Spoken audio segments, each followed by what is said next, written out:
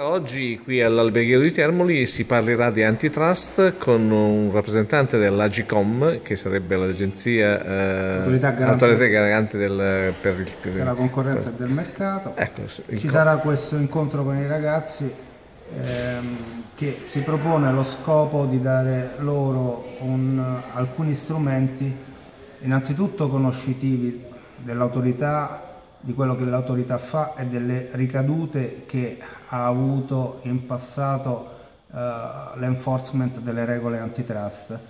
E poi uh, l'intento è anche quello di affrontare temi di attualità quali quelli legati al mercato elettronico, quindi all'e-commerce, alla uh, composizione di questo mercato, agli operatori che, che si incontrano e eh, soprattutto a quelle che possono essere delle trappole in cui consumatori giovani e nativi digitali come loro possono cadere. Ecco, stiamo parlando con il dottor Antonino Lambrosio, che appunto è anche tra le altre cose origine molisane, quindi di Montenegro, di Bisaccio, se non andiamo errati. Assolutamente sì. E quindi eh, lei eh, oggi parlerà a questi ragazzi mettendoli anche in guardia sotto quello che potrebbe essere questo ginepraio, noi lo chiamiamo ginepraio di, di situazioni che eh, appunto comportano anche l'intervento dell'antitrust. Insomma. Assolutamente, anzi noi abbiamo bisogno che siano gli studenti stessi eh, quali consumatori in erba a,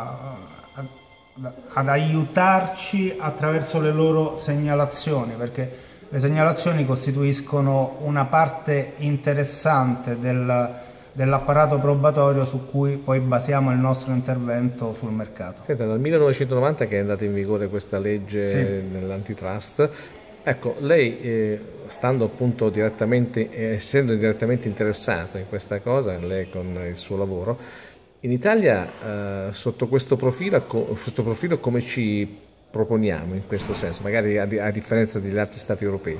Ma diciamo che eh, l'autorità garante della concorrenza e del mercato è, è considerata una eh, de, de, delle istituzioni eh, che ha, ha, interpretato in maniera più intensa e rigorosa eh, le eh, previsioni del Trattato di Roma, tant'è che la, la, legge istitutiva, la legge 287 del 90, non è che è una trasposizione di, eh, di quello che eh, era già stato eh, sancito dal Trattato di Roma. Quindi l'autorità in questi 26 anni riteniamo abbia fatto cose importanti quali quelle di rivolgersi a mercati che risultavano completamente fermi e chiusi e eh, rendere anche questi mercati effervescenti dal punto di vista concorrenziale, pensiamo al mercato della telefonia sia fissa che mobile, pensiamo al mercato del trasporto aereo.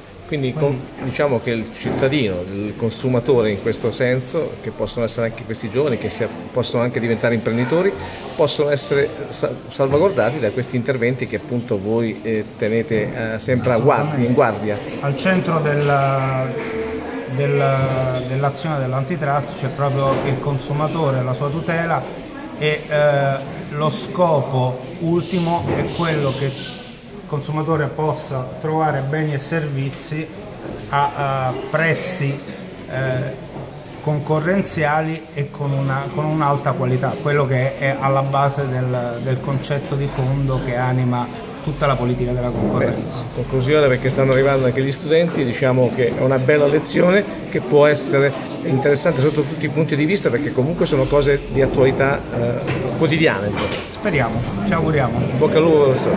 Grazie.